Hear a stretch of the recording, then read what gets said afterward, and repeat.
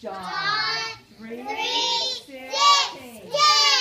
For God God so loved the world that he gave his only begotten Son, that whosoever believeth in him should not perish, but have everlasting life. John 3, 16.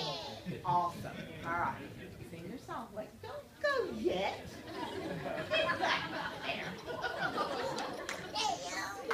Okay. All right, you ready? Jesus loves me. Jesus loves me,